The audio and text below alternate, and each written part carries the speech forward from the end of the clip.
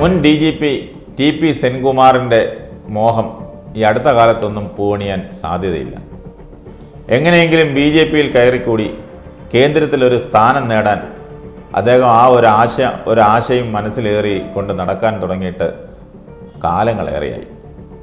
പക്ഷേ അദ്ദേഹത്തെ B J പിയുടെ പഠിക്കലല്ല ഏഴ് അയലൊക്കെ തടിപ്പിക്കാൻ ബി ജെ പിയിലെ ശക്തമായ ഒരു ഗ്രൂപ്പ്. സാക്ഷാൽ മുരളീധര പക്ഷം എതിർക്കുകയാണ്. സെൻകുമാർ ഇതിനിടെ വെള്ളാപ്പിള്ളിക്കെതിരെ പൊട്ടിച്ച വെടി വെറും ഒരു പുകയായി മാറിയത് നാം എല്ലാം മാധ്യമങ്ങളിലൂടെ കണ്ടു. അദ്ദേഹം ആ വെടി പൊട്ടിക്കാൻ ആ മാലപ്പടക്കത്തിന് തിരികൊളുത്താൻ അദ്ദേഹം തിരുവനന്തപുരം പ്രസ് ക്ലബിൽ പത്രസമ്മേളനം നടത്താൻ വന്നപ്പോൾ കണ്ട പുറട്ട് നാടകം എല്ലാവരും മാധ്യമങ്ങളിൽ കൂടി കണ്ടു.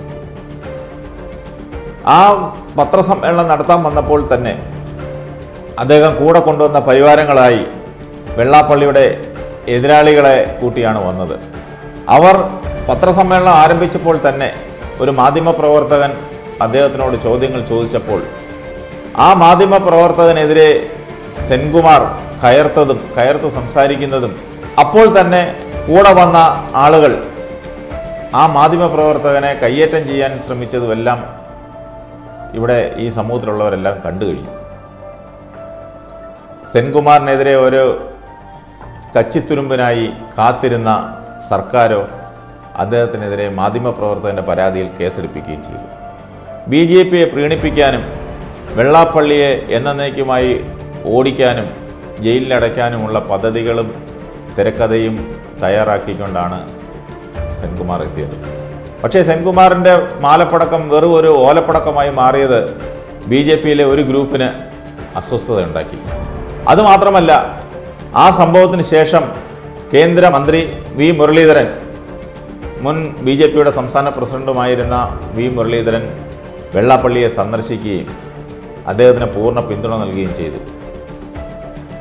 അദ്ദേഹം അന്ന് ആ കൂടിക്കാഴ്ച വെള്ളാപ്പള്ളിയുമായുള്ള കൂടിക്കാഴ്ചയിൽ പറഞ്ഞത് സെൻകുമാറിന്റെ അഭിപ്രായം അത് ബി ജെ പിയുടെ അഭിപ്രായമല്ല. ബി ജെ പിയും സെൻകുമാറുമായിട്ട് യാതൊരു ബന്ധവുമില്ലെന്ന് അദ്ദേഹം അവിടെ തുറന്നടിച്ചു. ഇതും കൂടി ആയപ്പോൾ മുരളീധര പക്ഷത്തിന് എതിരായി നിൽക്കുന്ന പക്ഷം കുറച്ചുകൂടി സമ്മർദ്ദത്തിലായി. അതേസമയം മുരളീധരനോ കേന്ദ്രത്തിൽ മാത്രമല്ല കേരളത്തിലും അദ്ദേഹം പിടിമുറുക്കി കഴിഞ്ഞു. അദ്ദേഹത്തിന്റെ ഏറ്റവും അടുത്ത അനുയായിയും ഏറ്റവും അടുത്ത വിശ്വസനുമായ കെ സുരേന്ദ്രനെ ബി ജെ പിയുടെ സംസ്ഥാന പ്രസിഡന്റ് ആക്കിയത് വഴി അദ്ദേഹം ഇവിടെ ചൂടുറപ്പിച്ചു കഴിഞ്ഞു.